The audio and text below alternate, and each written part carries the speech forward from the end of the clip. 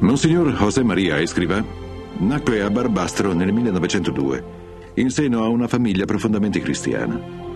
Compì gli studi ecclesiastici a Logrogno e a Saragozza, dove fu ordinato sacerdote nel 1925. Seguì il corso di laurea in giurisprudenza a Saragozza e si trasferì a Madrid per ottenere il dottorato.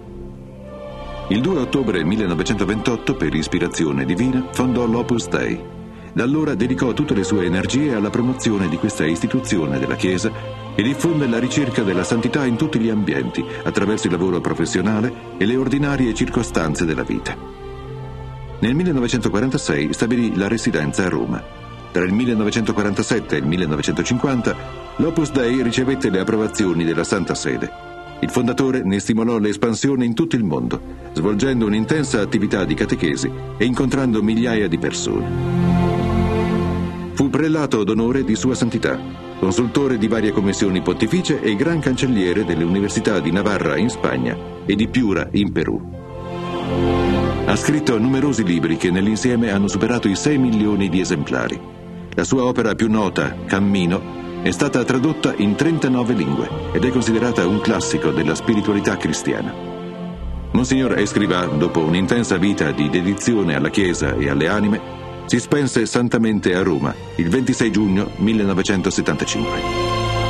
Dopo la sua morte, un numero crescente di persone ha accorso a pregare nella cripta della chiesa prelatizia di Santa Maria della Pace, dove riposano i suoi resti.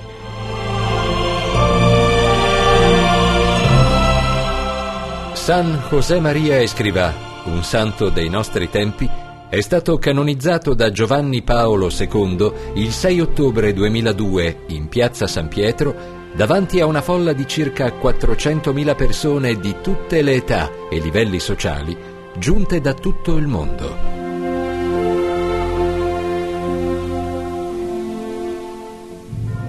Egli non è noto soltanto per aver fondato l'Opus Dei, che oggi è una prelatura personale della Chiesa Cattolica e di cui fanno parte 85.000 persone, di cui 1.800 sacerdoti, ma anche per la diffusione del suo messaggio spirituale volto a incoraggiare tutti i cristiani a cercare la santità nella vita quotidiana, soprattutto attraverso la santificazione del proprio lavoro professionale e nell'adempimento dei propri doveri.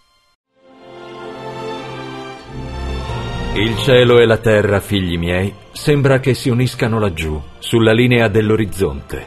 E invece no, è nei vostri cuori che si fondono davvero, quando vivete santamente la vita ordinaria.